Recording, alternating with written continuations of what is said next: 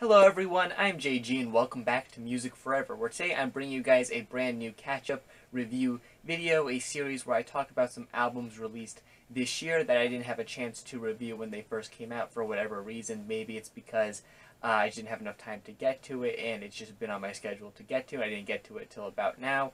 Or maybe it's an album that I never intended on checking out, but after hearing good things about it uh, from other reviewers or things like that, I decided to listen to it and enjoyed it or didn't enjoy it and want to share my thoughts uh, about it here in this series. So that's really what's going to be going on here today. I have three projects I'm going to be talking about. I won't be able to go into as much detail for some of them as I would in a normal review because I do have to keep things a little bit shorter here for this video, unfortunately. But I will try to get my thoughts out as you know quickly and to the point as I can for these three projects that we're going to be talking about here in this video. So with that said, we're going to st get started with the first project I want to talk about here today, which is the most recent EP from Suicidal Tendencies entitled Get Your Fight On. This EP came out last March, and the reason why I'm talking about this one here in this video in particular is because the group has a new album coming out September 7th, and I do plan on covering that. So I figured before I hear their new album they have coming out this year, I should talk about the newest EP that they dropped earlier this year. This is one that I planned on checking out, but just didn't get around to it in like March, I believe, when it came out. And uh, it's just been, you know, I've been meaning to get to it. And with the new the news that they're going to be having a new album out, I was like, okay, I'm going to go listen to it now then and talk about it. So this EP uh, is, is somewhat interesting in some regard because it's a pretty long EP. Like it's, it's like an album's length of content that you get here. It's like 40 something ish minutes in length of material you're getting here on this EP. And there really seems to be two different halves to this EP, if you will. The first half has uh, just, you know, more typical songs, I guess you could say. Uh, and then the second half includes uh, the track Get Your Fight On, which appeared on their last studio album released back in 2016, and several alternate versions of that track. Uh, so it's kind of like there's two separate ideas going on here in this EP that are kind of being mashed together into this one bigger album length EP. As I said, the first half or so of this EP features, uh, a, you know, pretty much original songs. I would say there is uh, a cover track in here as well, and there's also two tracks that are re-recordings of uh, songs released by one of the band members' side projects. Uh, so they're kind of like new original songs, but they're kind of not at the same time. I'm just I'm just going to classify them as you know original songs in comparison to the second half, which is just multiple versions of the same song, pretty much. But uh, the first half or so of this EP, it's solid, it's decent, I would say. I don't think any of the cuts here really stand out as being super great. Like they're they're decent songs, but none of them really blew me away or anything quite like that. None of them were bad or you know were a, a trouble to listen to or anything quite like that. But uh, they they were fine for what they were. And then the second half of this EP, which has multiple versions of the song "Get Your Fight On" as well as the actual song itself, is certainly an interesting uh, part of this EP, I guess you could say. It was definitely one that I think will be a bit more appreciated by hardcore fans of this group uh, given that I feel like more casual fans aren't going to really care to hear, you know, multiple different versions of this one track. You get an acoustic version, you get a, like, bass guitar version, you get, like, a, an electric, uh, you know, guitar version as well. It's, you know, it's interesting to hear the track done in all these different ways. I will say that. It definitely was uh, an interesting listening experience. However, it's, not one that I think I am, you know, super interested to, in returning to at a later point or anything quite like that. Especially if you're listening to this EP from start to finish, you know, having just the multiple different versions of this track right after another over and over again can get to be a little bit tiresome. Uh, and just combine that with the fact that this EP is as long as it is. Like I said, it's like an album's worth of content on here. Uh, it can lead to this project feeling a little bit uh, unnecessarily long at times. I honestly feel like this should have been two separate EPs. The first, uh, you know, part of it should have been its own EP, and then the second part with the different versions of Get Your Fight On, that should have been its own EP as well, that they should have just released at some point, really, because I feel like that would have made it a bit easier to digest overall. Uh, and I feel like, you know, after listening to the first few tracks or so on here that are, you know, the, the flow is, is pretty solid, I would say. It's not like they flow into each other super nicely or anything like that. It's obvious that they just have a similar sound, so they just work together when put back to back. Uh, but you know, after that and that part where it's all pretty solid, uh, once you get to the second half or so, where everything is you know just multiple versions of the same song, it might get to be a little bit uh, not redundant necessarily to listen to, but some people may not care for it quite as much. And I feel like had this been broken up into two EPs instead, you know, really, uh, some people could have checked out the the first half on its own, and then you know maybe the most hardcore of hardcore fans could check out the second half for what that offered there. And I know it's an EP, so listening to it, to from start to finish isn't quite, you know, as important as it would be for an album necessarily. But, you know, for me, as, as, a, as a listener, I like listening to projects in full. If I'm not listening to it, like, in full, it kind of bothers me to some extent. Uh, so, you know, I, I would always listen to this thing from start to end. And uh, it, it's a it's an okay project, I would say. It's definitely one I would say is more for the hardcore fans than the casual fans, like I said. But um, yeah, if you are a hardcore fan, I think you might get some enjoyment out of it. But for me, it was just an okay project. Alright folks, next up we have another EP that we're talking about. This one actually comes from someone else in the music YouTuber community, Viral Rack. However, he's released this EP under the name, and I'm probably going to butcher this, but uh, bear with me. Uh, Charlemagne's Menagerie Ho hopefully I'm saying that close to what, what it is, but not super important in the grand scheme of things. I guess this is an EP that he put out earlier this year. Uh, it's a chiptune EP. Uh, if you're unfamiliar with what chiptune is, it's basically like older video game music, like from the original Nintendo, 8-bit, uh, 16-bit era, that type of music, uh, really. So if you like the music in games from that period, like the original Mario or Legend of Zelda or Metroid, things like that, that's kind of what this EP sounds like. It's the same style of music, if you're unfamiliar with what that is.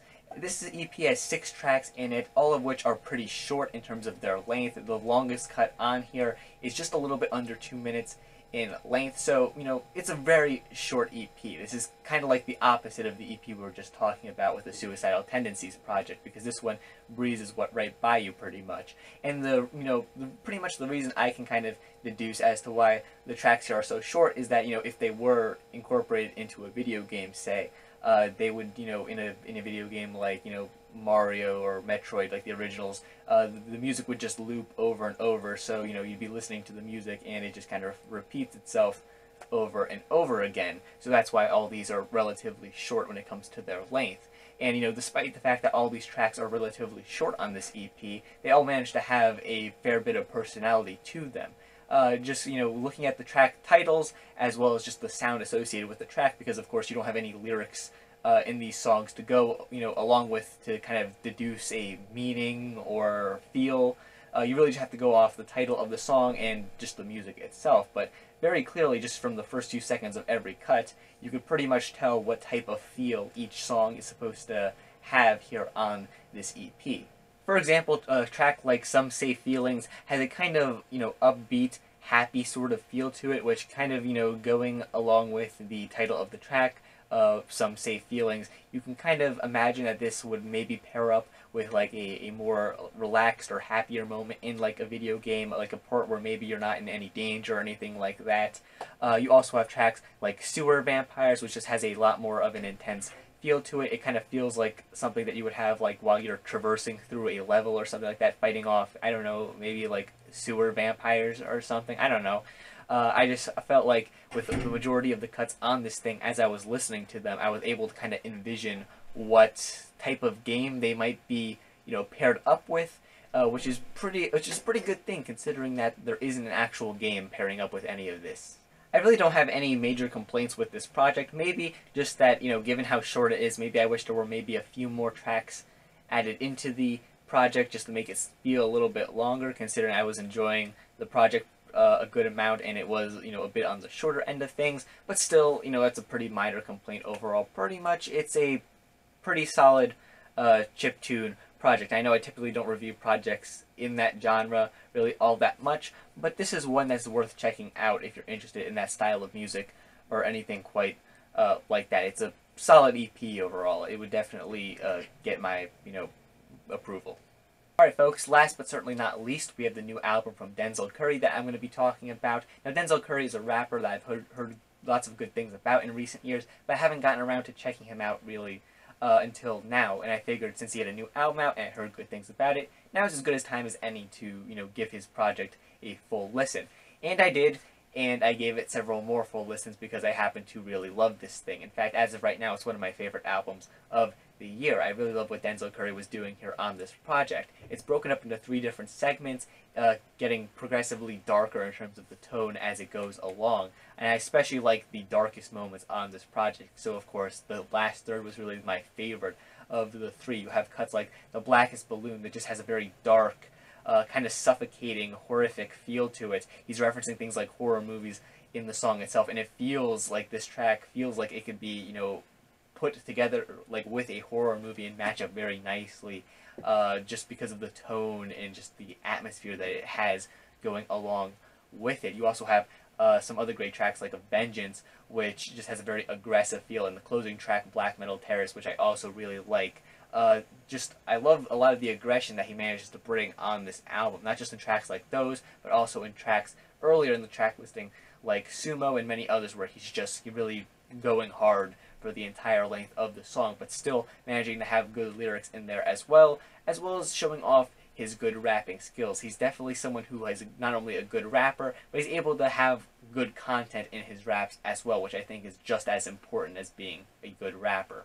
And of course, the subject matter on this album ranges from him bragging about things to, of course, very dark uh, stuff, as you might guess, based on the whole concept behind the album uh, you have tracks, for example, like you know I mentioned uh, the Blackest Balloon before, which brings up things like uh, drug use and you know uh, especially relating to things like the current opioid kind of crisis that's been going on and how that's kind of affected the you know hip hop scene in some regards. Also bringing up things like his own popularity and how he kind of feels like people are you know maybe uh, kind of going after him to some extent uh, just because of his own popularity on the track Clout Code Cobain, which also shows him uh, being able to pull off this kind of sad, you know, rapper thing really well. And what I mean by that is kind of, you know, the whole kind of sad rapper type vibe that I feel like many artists are kind of trying to do nowadays, but not really doing all that well. Kind of the whole emo rap sort of thing, I guess would be a better way to put it.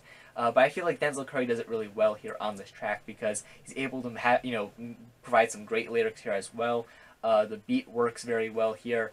Um, I also like his singing on this track as well. Uh, it just it comes together very nicely here, and he's able to pull off what many rappers I think try to do but don't do all that well. Uh, he's able to do it, uh, you know, effortlessly. It seems. A lot of the production on this album is, of course, dark sounding and just very trappy. It just goes very hard for the entire run. And Denzel Curry definitely showcases how you know you could definitely be an artist rapping over trap you know, styled instrumentals, but still have, you know, a lot of substance in your lyrics and just be an overall very good rapper in terms of, you know, your technical ability. And I like that overall that he's showcasing that not all trap music is just this one-dimensional sort of thing that lots of people seem to, you know, think. There's a lot more depth to it, you know, if you are willing to put in the, the work to find artists like Denzel Curry that are making music like this. And I feel like the production paired with his rapping ability and just the subject matter of these songs creates a, a pretty, you know, horrifying project in some regard in terms of the subject matter on here. Not like it's a horrifying thing to listen to in the sense that it's bad because it's a great project. Uh, it's definitely dark, and I, I, happen to like dark sounding projects, so of course this was right up my alley, really. Uh, excellent rapping, excellent production, uh, excellent subject matter. Uh, great features on here as well. Uh, I feel like all the features on here really just added to the tracks that they were on, providing a new, uh, you know, just a new element that wasn't present there before. They all really just do a great job on this thing. Uh, if there's any complaints I have, maybe there's a couple tracks here or there in the track listing that I, you know, feel a bit more like okay in comparison to some of the better cuts on here. Not that they're like awful songs or anything like that. In fact, I don't feel like any of the cuts on here are, you know, worse than good. But uh, there's some that you know don't stand out to me quite as much in comparison to some of the others, but you know, but that's a pretty it's a pretty good uh, negative thing to have about your album because uh, it means the rest of the album is really good. So yeah, uh, I really like this project. I would highly recommend it to you if you're a fan of hip hop music because uh, this is, like I said, one of my favorite albums of the year so far. And it's a shame I can't talk about it in a little bit more detail given the format of this review series, but I have a, a feeling that I'm going to be talking about it more in the future like maybe in my best albums of the year list at the end of the year. Uh, maybe, I mean, probably, I mean, as of right now, it, it's certainly going to be there. But yeah, great project. And with that said, guys, those are all three of the reviews I have to get out uh, of the way here today in this video. Just my own personal opinions on all three of these, so if you happen to have a different opinion, that's perfectly fine. In fact, feel free to leave your opinion on either three of these projects in the comment section down below. I'd greatly appreciate seeing them. And while you're down there, make sure to also hit the like button and subscribe to the channel so you don't miss out on more music related content in the future. Things like album reviews, countdown lists, discussions, track reviews, all that good stuff. If you don't want to miss out on it, make sure you hit that subscribe button. And with that said, guys, thank you for watching this catch-up review, uh, and stay golden.